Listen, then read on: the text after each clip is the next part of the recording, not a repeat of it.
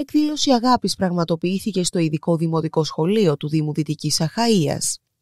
Την επιτυχημένη εκδήλωση οργάνωσε ο Δήμος Δυτικής Αχαΐας με τη συμβολή του συνδημότη και δημοσιογράφου Λεωνίδα Μακρύ.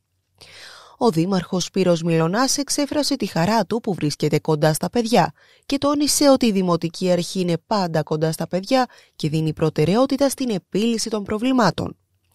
Από την πλευρά του, ο Λεωνίδας Μακρύς ευχαρίστησε το Δήμαρχο Σπύρο Μιλωνά για την άμεση ανταπόκριση στην ιδέα να γίνει αυτή η εκδήλωση, ώστε να δοθεί χαρά στα παιδιά και εξέφρασε ένα μεγάλο ευχαριστώ στους εκπαιδευτικούς για τη μεγάλη προσπάθεια που κάνουν.